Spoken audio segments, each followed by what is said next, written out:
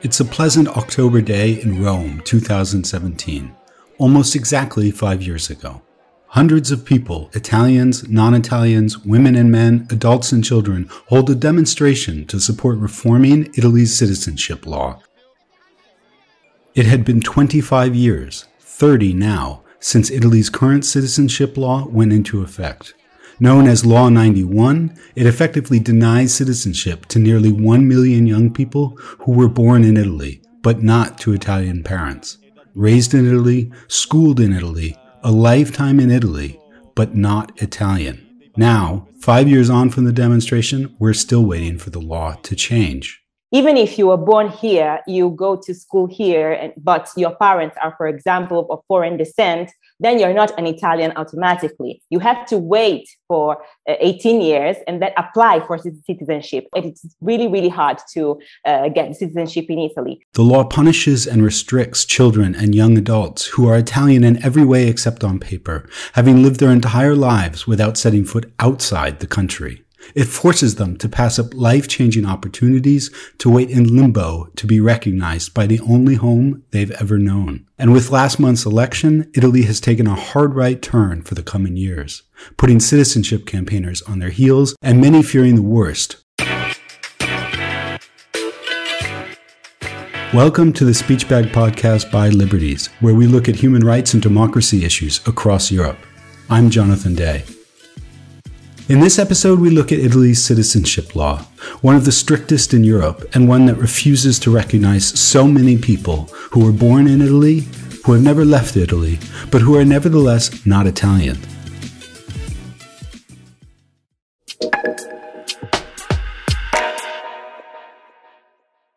The push to reform Italy's citizenship law has been ongoing for years, the hope of its success ebbing and flowing as the country's political tides have changed. Now, with results of last month's elections, there is concern that reform could be pushed far into the future.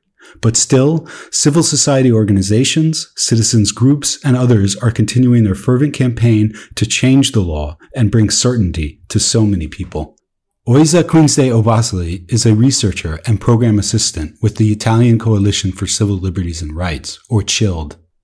Oiza is the author of the book Corpi Estranei, Foreign Bodies, published in 2020, and she currently carries out research and project support in the areas of immigration, right to asylum, citizenship, anti-discrimination, and inclusion. Oiza, maybe a good place to start is to clarify Italy's current citizenship law, which I believe is essentially jus sanguinis which means through descent. Uh, you get it from your Italian parents. And otherwise, it's very difficult to get citizenship there. In Italy, we have uh, a law which is law number 91 and which was promoted, mm, adopted in 1992. And basically, it is based on jus sanguinis, which in Latin means that you are an Italian citizen if one of your parents is actually Italian. So it's citizenship by blood, basically. If you were born by uh, foreign parents or foreign foreign people, you are uh, you have to wait for until 10 years before applying for citizenship.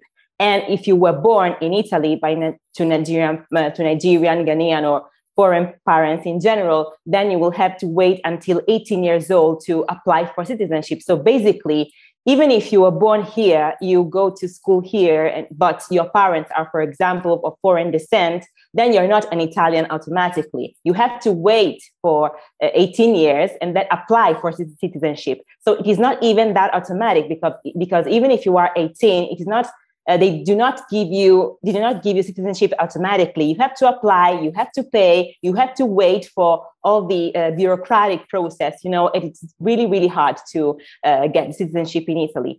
And basically um, as um, as an ngo but people that uh, uh, are activists and uh, have been campaigning for citizenship reform say that this the current law that we have right now is so obsolete because the, the society in Italy has changed. We have um, many many people of foreign descent that are Italian de facto, but they're not they're legally recognized as such. So that is why we are asking for a reform. Also because, for example, if you are um, 18 years old, and you haven't, maybe you go to university, or there are certain jobs that you cannot do if you don't have the citizenship. So, of course, it is difficult for people who do not have citizenship to apply for certain jobs. So that is why that, that, that is a problem for many people that were born here, for example, who do not have citizenship.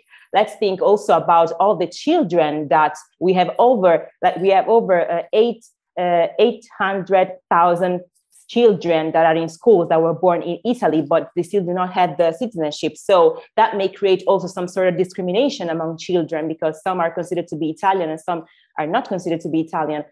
Not long after the demonstration heard in the introduction, Italy's citizenship law was tightened by the government. The effort was spearheaded by then Italian Minister Matteo Salvini and resulted in the so-called Salvini Decree in 2018. The hardline law was unsparing in its harshness towards foreigners, especially those seeking asylum. Among other things, it abolished humanitarian protection for those not eligible for refugee status, but who nevertheless could not be sent home. But the Salvini decree also sought to make life harder for those non Italians who were already in Italy, who had been in Italy their entire lives, and yearned to be Italian on paper as well. Basically, uh, the, the Decreto Salvini made it harder to get citizenship by increasing the number of months uh, of the bureaucratic procedure. So basically, from 24 to 36 months. So for every single person that were, uh, you know, in the limbo of getting the citizenship, uh, with the Decreto Salvini, they have had to face a situation where they had to wait even more, you know, to, to get the citizenship. But it's not just waiting 12 more months in limbo, going about everyday life while the government drags its feet, right? Of course, it's never that simple, but I imagine, especially not in Italy, where the process has long been under fire for having absurdly difficult requirements, hoop after hoop to jump through uh, just to get citizenship yeah, for example, for the people who were born and raised in Italy, uh, you have the um, basically to to acquire the citizenship, you have to live in the same place, not only in Italy but in the same residence. You know, many you, if you have a house in a certain uh, address, of course you need to stay there. You have, you have to prove that your residents have been there for the entire years that you live in Italy. The exact same residence for 10 years. So I take this to mean then that leaving the country for any real amount of time at all is almost impossible. So, for example, if there are uh, families that may go back to their own country for a certain period of time, that mm, child that were born in Italy may lose the possibility even to get the citizenship because, of course, once you are 18 and you get go to the office and they see that have been a gap, you know, on your uh, on your stay in, in, in Italy, that may be a problem because they see that there is a gap and maybe they can tell you that that that can be a complication for you to acquire the citizenship. So yeah there is not just a rumor it's it's real. And we have you know different um, we have different uh, cases of um, italian people or foreign descent that uh, are, are still fighting, you know, uh, with the with bureaucratic procedure or with the offices because uh, maybe they they committed just um, this I'm quoting the crime to go abroad because of course there is a gap. In, of course, they, you have to stay abroad for a, a such um, a pretty much a long period of time. But even maybe one month uh, in the country of origin of the parents may be a problem, you know, to acquire the citizenship because uh, that is um, uh, one of the main requirements to prove when you want to apply for citizenship residence but also their income. So let's think about for example the people who uh, are not uh, rich or are not in the mid are not are not part of the middle class let's call it that, that way. And if your income is not high enough you don't have you don't have the you don't have the right requirements to get a citizenship. So for the people who are uh, especially of foreign descent because it is you know, uh, in Italy, uh, the people who usually live in poverty or um, in lower classes are of foreign descent are foreign. So, for example, uh, it is a very difficult even for the people who are of foreign descent to acquire citizenship if one of the requirements, for example, is income. So we have to face also the problems regarding inequalities, uh, even on um, regarding this issue. The, the absurdity, according to me, is that if you are born or raised here, you're not considered to be part of the society. Um, you had to basically, uh, you know, you, you had to to go through 18 years of your life, and you're not considered to be Italian, uh, even if you are, and the state doesn't want to recognize as as Italian. But of course, it is not just a matter of um, of identity because at, this, at the end of the day that is something really personal but it also uh, a matter of get having access access to certain services access to certain jobs because they don't, don't have citizenship Oiza, how is this beneficial to italy the opportunities lost for, for those in limbo, be it in education, employment, social life, uh, all, all sorts of areas, is clear. But it also strikes me as costly to Italy. Like the, the current citizenship law just deprives the state too. Yeah, that is obvious. I think that um, if you, I mean, if the government, if, if the state doesn't want to recognize these people to be Italian, it means that you are actually um, uh, you know, stopping from, uh, I would say, evolving as a society. I mean, it is obvious that society is, I, believe that a society gets stronger and stronger and also more, um, there is more integration if you actually consider uh, the people of foreign descent to be part of the society. So, of course, it is a deprivation for Italy, to, according to me, uh, keeping uh, these people, uh, you know, at the outskirts, I would say, of the society, because if you don't uh, recognize these people to be Italian, I mean, then um, there will not be, uh, as, as, I would say, an evolution of a society because, you know, uh, having different cultures, different religions, different, uh, again, culture is very important, according to me, for, for a society. And also, um, not also that, but to me, it is very important that there is also um, recognition of different uh, cultures, ethnicity, and uh, the um, recognizing also that diversity can be an enrichment also for the society. So, of course, um, this uh, the um, the fact that the, the Italian government doesn't want to approve such an important law, it means that Italy is, is still, you know, kind of um, how can I say it? Um, maybe I would say backwards in the you know in in have in in trying to to imagine a society with with much more diversity. It is really really hard to actually change this aspect. Even me, that I am an Italian citizen, but I'm black. You know, so the people that not do, do not perceive you as an Italian because your features. Uh, you know, uh, some, sometimes betray you because your features say that you are from another country, but actually I am Italian. So it is not even easy, even even you know, in the minds of, of Italian to think that a person with different uh, features can be Italian. So to me, there is also a need to actually, you know, to work also on anti-racism, anti-prejudice, and try to make people understand that Italy is a diverse country. We have many differences. We have diversity. We have people coming from, you know, everywhere in the world, and many, many of them are Italian, you know, even if they're not recognized. Where is the public sentiment on this issue? Italy has a history, especially a recent history, of hostility towards foreigners. Um, issues related to migration are contentious, always. Is there any sense of how everyday Italians feel about reforming the citizenship law? Yeah, um, I think that, uh, okay, first of all, uh, I think that when we talk about, for example, the media and the way that and the narrative on uh, on reform of citizenship, then you will see that the perception that you will have is that Italy will never change, that people think that reform shouldn't happen, basically. But to be honest, uh, according to recent surveys, for example, which actually surprised me, is mm, the recent, sur- recent surveys say that six Italian over 10 uh, agree over on citizenship reform. 60% is, to be honest, higher than I would have guessed, I think. So I guess one takeaway for me would be that the need to change this law is resonating with Italians. If you uh, ensure that people are informed of what this reform is about and how, uh, how, the situation is in Italy, then they will understand and maybe they will see, okay, maybe we need reform because it is absurd that children who were born here and, and go to school here are not considered to be Italian.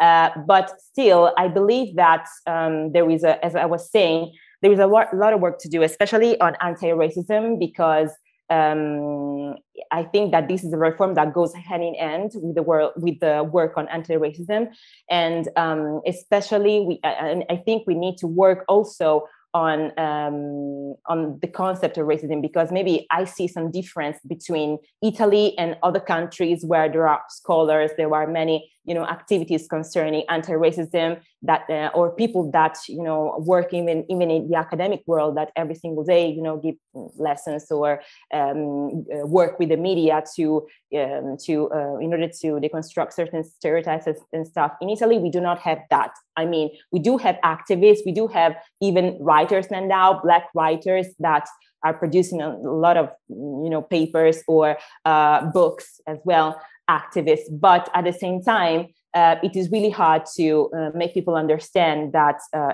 as i was saying before the society is, is, is changing. So um, i believe that new generations that generations z or millennials are more open to uh, this type of change. But of course we have um, ruling class that does not reflect the, uh, the, the current situation, especially among the youth. So you may have a ruling class that is more conservative, that is um, less interested in in um, in facing these topics. So it is re- it is harder to um, you know to to make people to, to make the ruling class also understand this topic and to be open to openly talk about racism because as I, for example, if we think about colonialism and the colonial past of Italy, uh, they usually say, "Oh, but the French were worse. Oh, but the the um, um, English people were worse in the in the colonies." But no, Italy was as violent as the French or as the British people. So that is what we are trying to make understand. And you know, if we talk about anti-racism, citizenship, all of these topics have to go hand in hand with also what is racism and how to bring the concept of racism and how to, you know,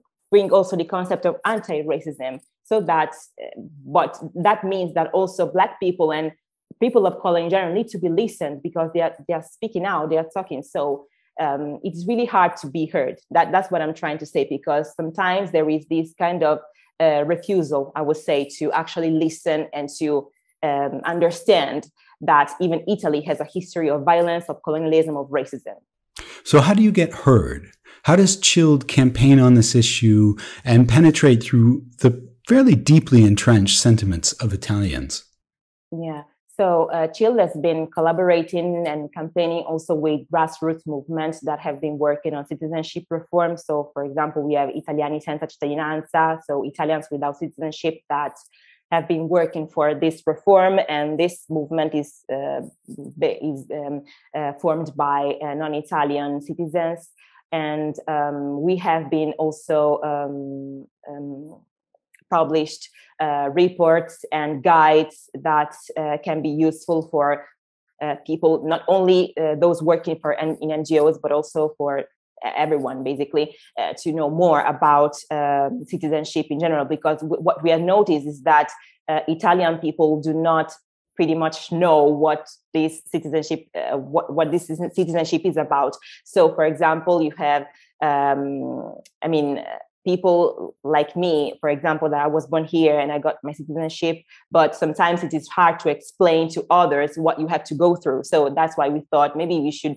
uh, publish a guide, uh, a know your rights type of guide with frequently asked questions on what uh, citizenship is and um, the years of uh, legal residence, the years that uh, may take to get citizenship, etc. And we also publish another report called um, 30 anni senza lode, which means that, which is based on the fact that it has been 30 years that um, that we have been trying to uh, push towards reform, but for 30 years that didn't happen. So we uh, basically involved uh, legal experts, activists, and um, people of color basically to give their own contribution to these reports um, that um, so so that they could um, um share their point of view uh, from a legal point of view but also from a social point of view.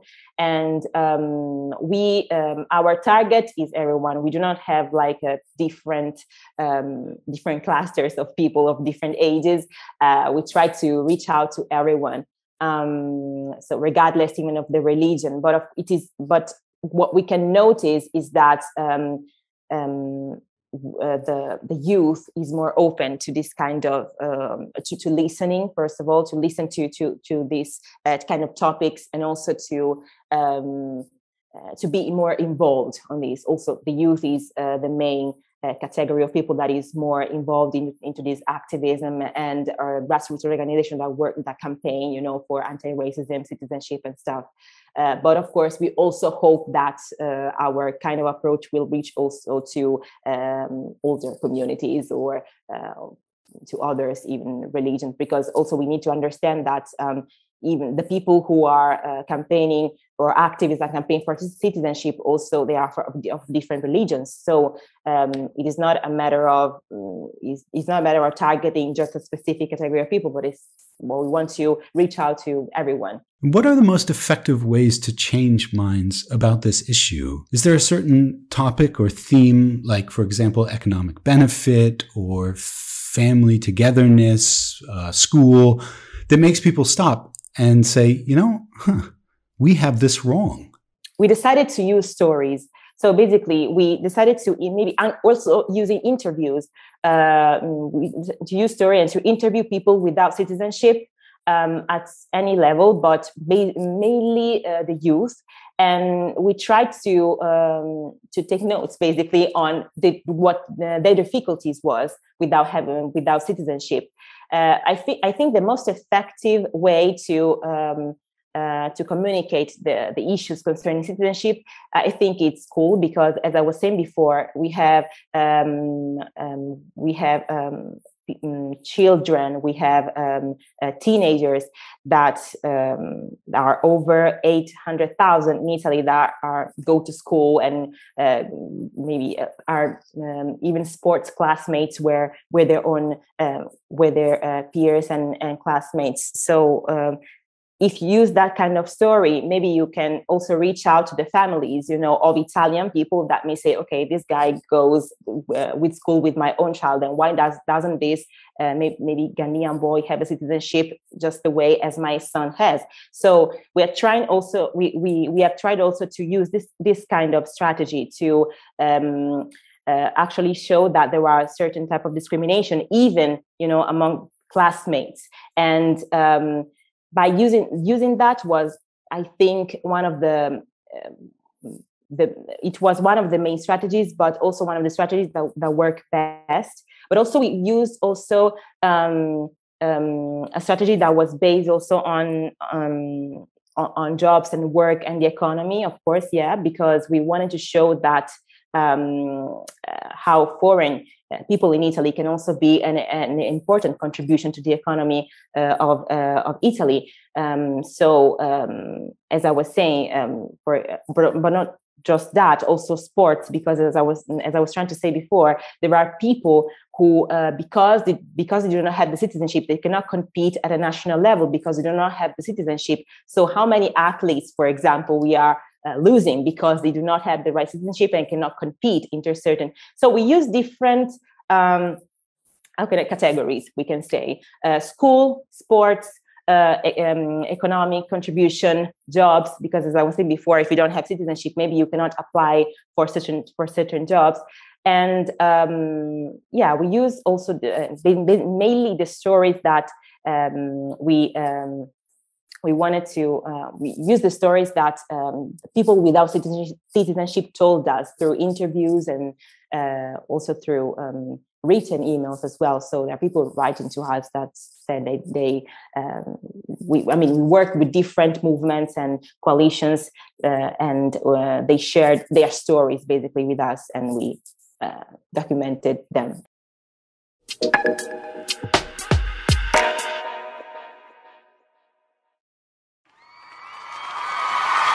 Ci sono ancora tanti italiani che scelgono di non votare e se saremo chiamati a governare questa nazione lo faremo per tutti, lo faremo per tutti gli italiani, lo faremo con l'obiettivo di unire questo popolo.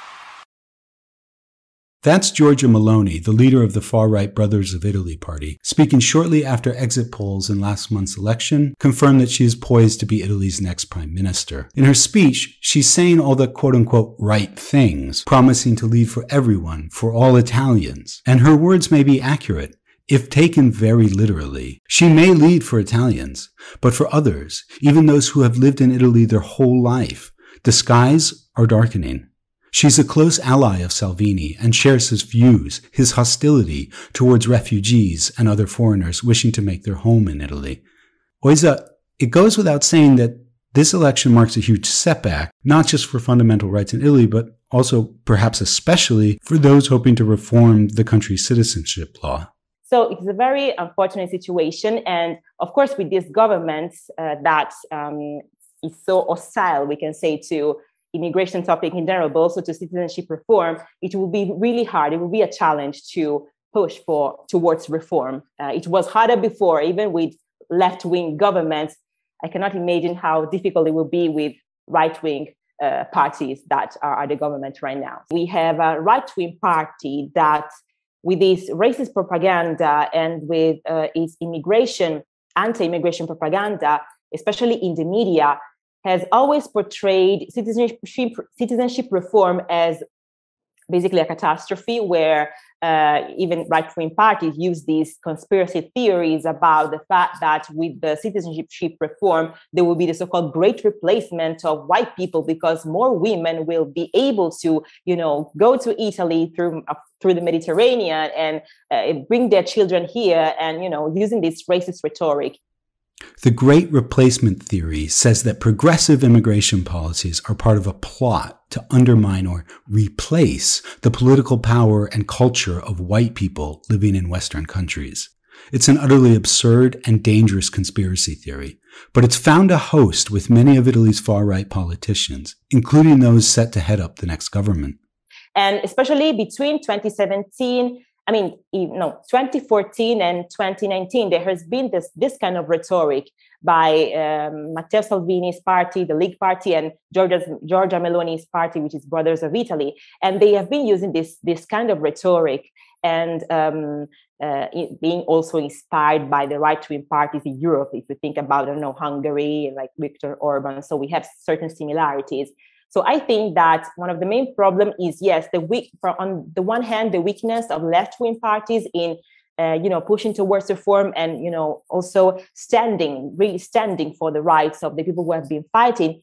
And on the other hand we have, we have also unfortunately a right-wing party a right-wing party that through their racist propaganda can actually you know win over these civil rights somehow and um, and of course disinformation plays a major role on this because um, you know as i was saying before in italy if we don't have this kind of um, of uh, anti-racist work you know that need to be brought in schools need to be brought at any single level then you will be have that kind of disinformation and stereotypes and prejudice that you know are um, you know that work uh, for um, right-wing parties propaganda so the prognosis here, at least in the short or medium term, is that there's little hope of any progress to change the citizenship law under this coming government. You're skeptical of good news of any sort in the coming years. I think that um, I'm very skeptical because I don't think that there will be uh, an openness to reforms, to positive reforms, to reforms that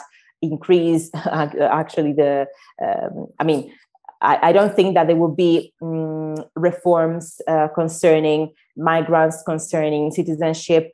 Um, I don't think that there will be a sort of openness towards it.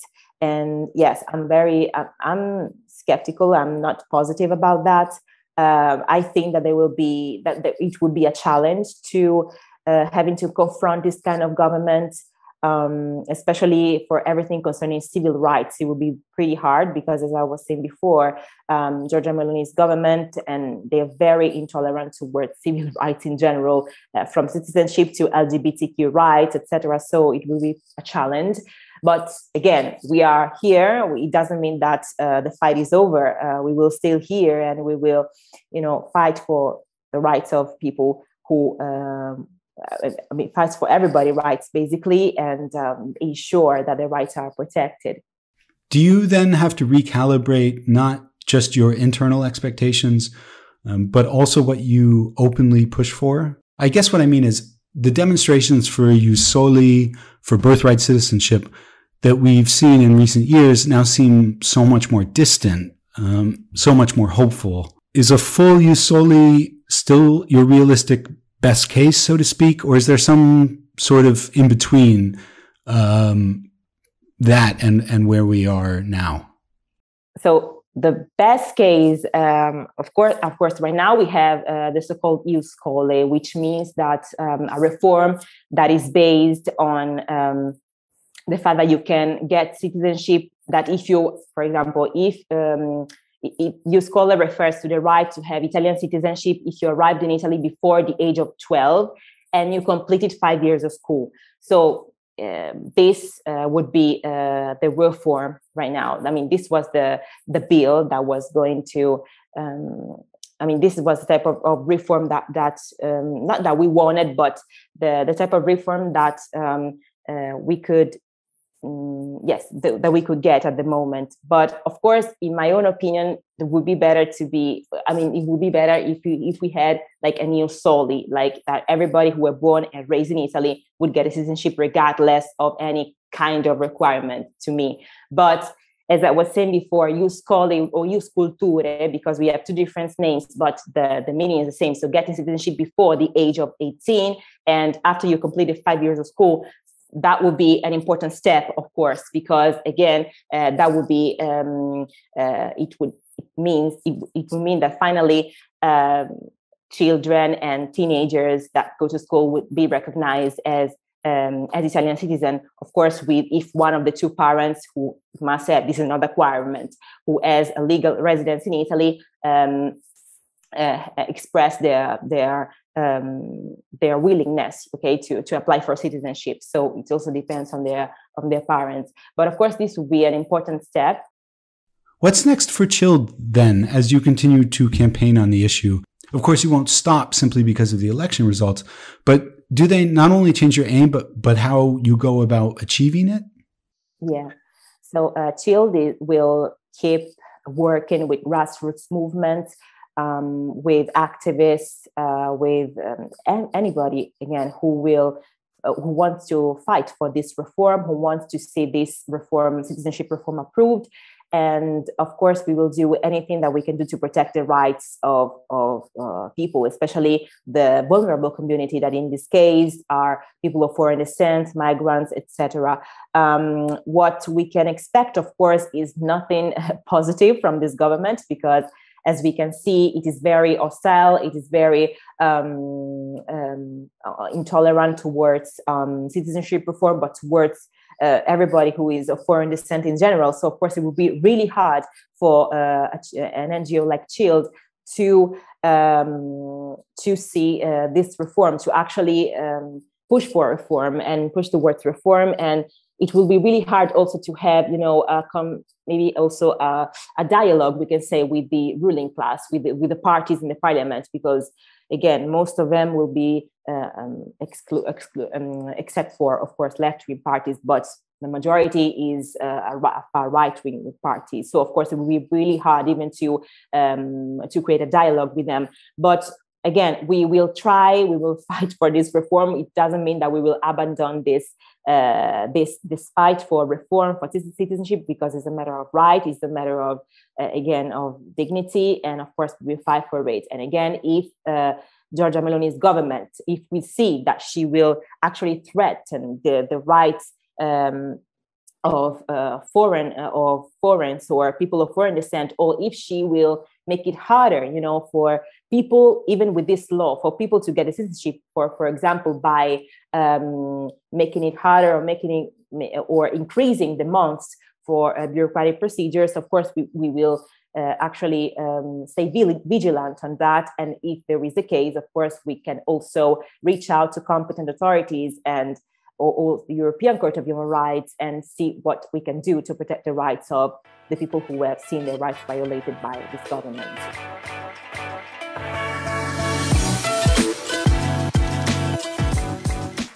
That's it for this episode of the Speechbag Podcast by Liberties.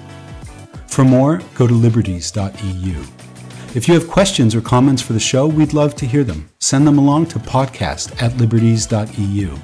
This has been a presentation of the Civil Liberties Union for Europe.